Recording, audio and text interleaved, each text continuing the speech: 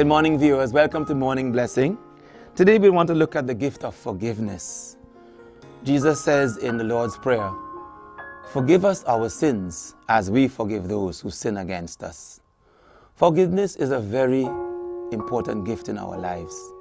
We may take it for granted that God forgives us, but do we forgive others? Do we wipe away and wash away and forget the hurts and the wounds that are inflicted on us by others? Jesus assures us that our sins are only forgiven when we forgive others. He says in Mark's Gospel, chapter 11, verse 25, And whenever you stand praying, forgive if you have anything against anyone, so that your Father also, who is in heaven, may forgive you your trespasses.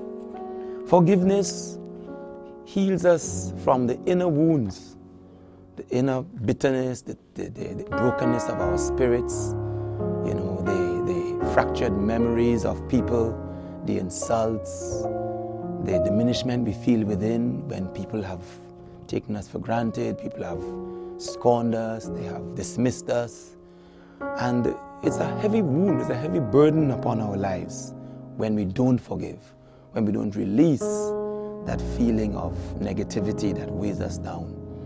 It helps us, not just those whom we forgive, but forgiveness heals us and gives us a lightness of spirit, you know, and also reconciles us to those whom we forgive, our enemies, our foes, our competitors, and even our friends. It brings us back together again. And so forgiveness is a very important spiritual and psychological, emotional uh, gift that we need to use in our lives so that we are whole people, we are open people, we are freed from the burdens, not just the physical burdens, but the, the psychological burdens of our lives. Jesus asks us to forgive as we forgive. He forgives us as we forgive. If we don't forgive, He will not forgive us either. That's a double, double curse. And so we pray that we forgive every single day of our lives the hurts and the wounds and the wrongdoings that are inflicted upon us and that we inflict upon others. And we pray truly that sincere, sincerely that prayer.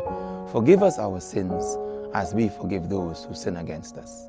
God bless. You.